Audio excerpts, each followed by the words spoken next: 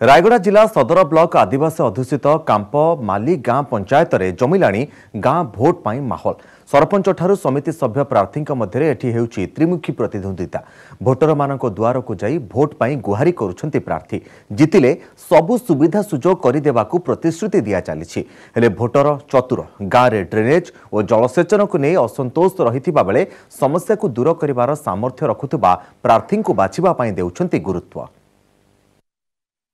ବିକାଶକୁ ନେଇ ଏବେ ଘରକୁ ଘର ଗାଁକୁ ଗାଁ ବୁଲି ପ୍ରଚାର ଅଭିଯାନ କରିଛନ୍ତି। ତେବେ ଏଥର ଆମେ ଦେଖିବା ରାୟଗଡ଼ା ଜିଲ୍ଲା କାମ୍ପମାଲିକା ପଞ୍ଚାୟତରେ କେମିତି ରହିଛି ନିର୍ବାଚନ ମାହୋଲ ଯାହାକୁ ନେଇ ଆମର ଏହି ଅଭିଯାନ।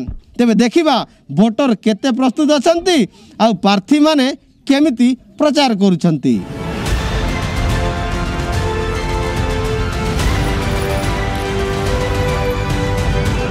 କାମ୍ପମାଳିଗା ପଞ୍ଚାୟତ ବ୍ଲକ ରାୟଗଡ଼ା ସଦର ଜିଲ୍ଲା ରାୟଗଡ଼ା ଭୋଟର ଦୁଇ ହଜାର ପାଞ୍ଚଶହ ବୟାନବେ ଆଦିବାସୀ ଅଧ୍ୟୁଷିତ କାମ୍ପମାଳିଗା ପଞ୍ଚାୟତରେ ନିର୍ବାଚନ ପ୍ରଚାର ପହଞ୍ଚିଲାଣି ଚୂଡ଼ାନ୍ତ ପର୍ଯ୍ୟାୟରେ ଗାଁ ଗାଁରେ ହୋର୍ଡିଂ ବ୍ୟାନର ଭରିଗଲାଣି ସରପଞ୍ଚ ପଦ ଅନୁସୂଚିତ ଜନଜାତି ମହିଳାଙ୍କ ପାଇଁ ସଂରକ୍ଷଣ ରହିଥିବା ବେଳେ ମଇଦାନରେ ଅଛନ୍ତି ତିନି ପ୍ରାର୍ଥିନୀ ସମିତି ସଭ୍ୟା ପ୍ରାର୍ଥିନୀ ମଧ୍ୟ ତିନି ଜଣ ଲଢ଼ୁଛନ୍ତି ନିର୍ବାଚନ ଭୋଟରମାନଙ୍କୁ ଆକୃଷ୍ଟ କରିବା ପାଇଁ ମାଳ ମାଳ ପ୍ରତିଶ୍ରୁତି ଦେଉଛନ୍ତି ପ୍ରାର୍ଥୀ ସରପଞ୍ଚ ପ୍ରାର୍ଥିନୀ ଆରତୀ ହୁଇକା ପ୍ରଚାର କରୁଥିବା ବେଳେ ଭୋଟରଙ୍କୁ ରାସ୍ତାଘାଟ ପିଇବା ପାଣି ଆବାସ ଓ ବାର୍ଦ୍ଧକ୍ୟ ଭତ୍ତା ପାଇଁ ପ୍ରତିଶ୍ରୁତି ଦେଉଥିଲେ।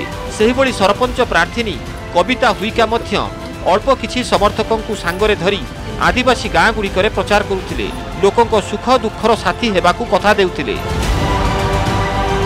ଆଜ୍ଞା ମୁଁ ଘର ଘର ଯାଇକରି ଲୋକମାନଙ୍କର ସବୁ ଅସୁବିଧା ସୁବିଧା କ'ଣ ସେଠି ଦେଖୁଛି? ଯାଇକରି ମୁଁ କହୁଛି ଯେ ଆଜ୍ଞା ମୋର ଏଇଟା ଆରତୀ ହୁଇକା। ମୁଁ ସରପଞ୍ଚ ପ୍ରାର୍ଥୀ ପାଇଁ ବହି ଚିହ୍ନରେ ଖୋଲା ବହି ଚିହ୍ନରେ ମୁଁ ଠିଆ ହେଇଛି। ସେ- ପ୍ରଚାର କରିଛି ଆଜ୍ଞା ଘର ଘର ଆଜ୍ଞା ମୋତେ ହଣ୍ଡ୍ରେଡ଼ ପରସେଣ୍ଟ ମୋତେ ବି ଆଶା ଅଛି ଯେ ମୁଁ ଜିତିବି ବୋଲି। ପାଞ୍ଚ ଜଣ ଯାଇକି ଘରକୁ ଘରକୁ ଭୋଟ ମାଗୁଛୁ। ଲୋକଙ୍କ ପାଖକୁ ଯାଇ ଭୋଟ ମାଗିକି ରାସ୍ତା ପିଇବା ପାଣି ପେନସିଲ୍ ଇନ୍ଦିରାବାସୀ ଯୋଗାଇ ଦେବୁ ବୋଲି ଭୋଟ ମାଗୁଛୁ। ଲୋକ ବହୁତ ପସନ୍ଦ କରୁଛନ୍ତି। ପଞ୍ଚାୟତରେ ପାନୀୟ ଜଳର ସମସ୍ୟା ଦୂର ହୋଇଥିବା ବେଳେ ଗ୍ରାମରେ ଷ୍ଟ୍ରିଟ୍ ଲାଇଟ୍ ମଣ୍ଡପ ଧାନ ଖଳା କଂକ୍ରିଟ ରାସ୍ତା ହୋଇଥିବା କହନ୍ତି ପୂର୍ବତନ ସରପଞ୍ଚ। ପୂର୍ବରୁ ପଛୁଆ ହୋଇ ରହିଥିବା ପଞ୍ଚାୟତରେ ଗଲା ପାଞ୍ଚ ବର୍ଷରେ କିଛି କାମ ହୋଇଛି। ପୁଣି ଆଗକୁ ବିକାଶ ଆଗେଇବା ପାଇଁ ଲୋକେ ଉପଯୁକ୍ତ ପ୍ରାର୍ଥୀ ବାଛିବେ। କହିବାକୁ ଗଲେ ପାଞ୍ଚ ବର୍ଷରୁ ଯେତିକି ମୁଁ ସରକାର ଯୋଜନା ଥିଲା ସେ ଯୋଜନାଟି କେତେଟା ଗାଁରେ ପହଞ୍ଚାଇଲି କେତେଟା ଗାଁରେ ପହଞ୍ଚାଇ ପାରିନି। କେତେଟା ବାକି ରହିଗଲା କ'ଣ ପାଇଁ ରହିଲା ବୋଲେ ଆମର ଯେଉଁ କରୋନା କଟକଣା ହେଇଗଲା ସେ ଯୋଗୁଁ କିଛି ବାକି ରହିଯାଇଛି।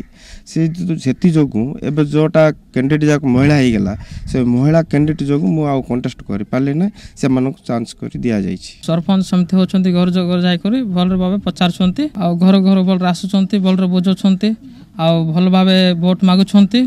ଏବେ ଆମ ପଞ୍ଚାୟତରେ ଆମେ ଯାହାକୁ ଚାହୁଁଛୁ ତାକୁ ଭୋଟ ଦେବୁ। ଯେଉଁ ଆମ ପଞ୍ଚାୟତର ଗାଁର ଉନ୍ନତି କରିବ ତାହାକୁ ଯେଉଁ ଖଣ୍ଡେଟ ଜଣକୁ ବାଛିକି ଭୋଟ ଦେବୁ। ଭୋଟରମାନେ ମଧ୍ୟ ପଞ୍ଚାୟତର ବିକାଶ ପାଇଁ ସାମର୍ଥ୍ୟ ଥିବା ପ୍ରାର୍ଥୀଙ୍କୁ ନିଜ ପ୍ରତିନିଧି ଭାବେ ବାଛିବା ପାଇଁ ଚଳାଇଛନ୍ତି ଅଙ୍କ କଷା। ଗାଁରେ ଡ୍ରେନେଜ୍ ନଥିବାରୁ ବର୍ଷା ଦିନରେ ଜଳ ନିଷ୍କାସନ ସମସ୍ୟା ପାଲଟିଛି ଯାହା ଲୋକଙ୍କର ପ୍ରମୁଖ ପ୍ରସଙ୍ଗ ହୋଇଛି।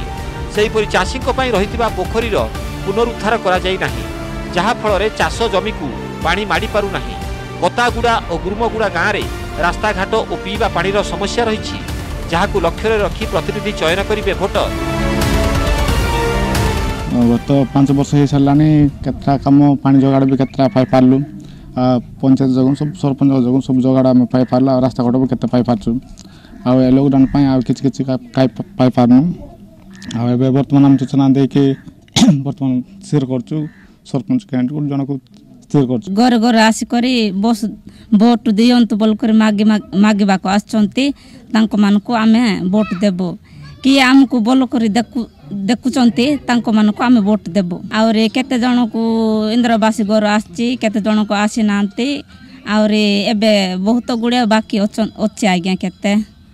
ଆହୁରି ସେଟା ବି ହେଇଯାଉ ବୋଲିକରି ଆମେ ଆଶା କରୁଛୁ। କାପମାଳିଗାଁ ପଞ୍ଚାୟତରେ କିଏ ବିଜୟ ମୁକୁଟ ପିନ୍ଧିବ ଆଉ ଜନତା ଜନାର୍ଦ୍ଦନ କାହାକୁ ଆସ୍ଥା କରିବେ ତାହାକୁ ନେଇ ନିର୍ଣ୍ଣାୟକ ସମୟ ଆସିଥିବା ବେଳେ ସମସ୍ତେ ଭୋଟ ତାରିଖକୁ କରିଛନ୍ତି ଅପେକ୍ଷା। ରାୟଗଡ଼ା ଜିଲ୍ଲା କାପମାଳିଗାଁ ପଞ୍ଚାୟତରୁ ଗଜମୋହନ ଗରଡ଼ିଆ ନ୍ୟୁଜ୍ ଏଟିନ୍ ଓଡ଼ିଆ।